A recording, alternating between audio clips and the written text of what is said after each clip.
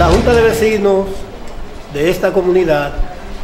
ha invitado al procurador fiscal para que la comunidad exprese la situación que hemos estado viviendo a raíz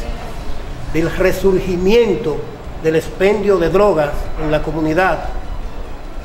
y como parte de todo un proceso de lucha que se ha iniciado contra los males de la comunidad y el adesentamiento del sector Encilia Pepín. Este encuentro forma parte de ese proceso que nosotros decimos que es indetenible hasta lograr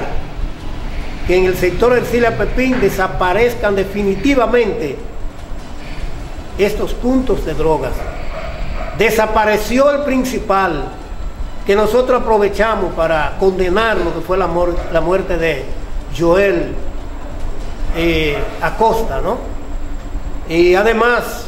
para seguir eh, demandando de las autoridades, de la Dirección de Control de Drogas, del CRIM,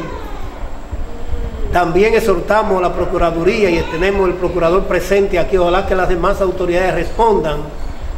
y seguir llamando a la juventud para que busquen la superación con el estudio y el trabajo, pero reafirmar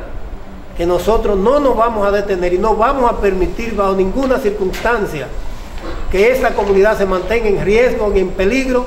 y que esos niños y esas niñas sigan observando esos desmanes que lo que hacen es destruir el futuro de la sociedad dominicana.